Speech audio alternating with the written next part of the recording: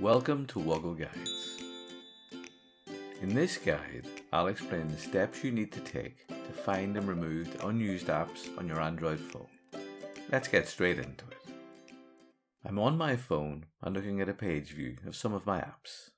Recent research shows that on average, a person has 30 to 40 apps on their phone at any one time.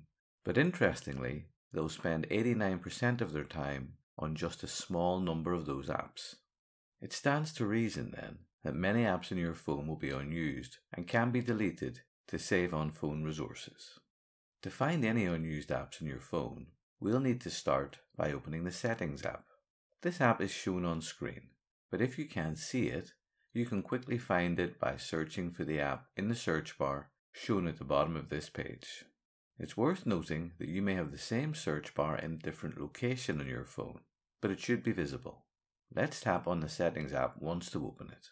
A long list of options is then presented, but we're interested in the Apps setting shown on this page. Let's tap on that once to open it.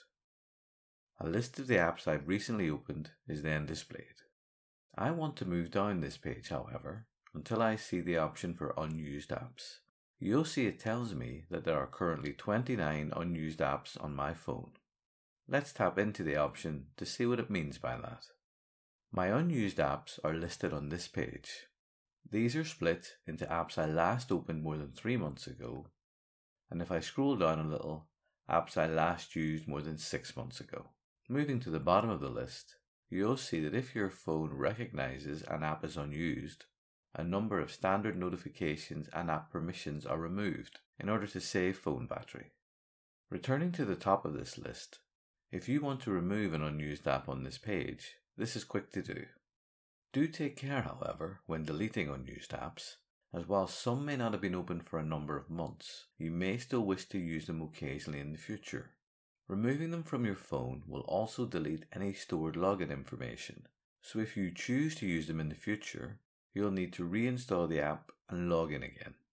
I'll start by finding the app I want to delete. To delete the DanceBit app, I'll tap the small trash can icon to the right of it. A pop-up message then appears that asks me to confirm I really do want to uninstall this app. To confirm that, I'll tap once on the OK link. Your phone will then confirm that the app has been removed from your device. Using this method, you can quickly work your way through unused apps and remove them from your phone.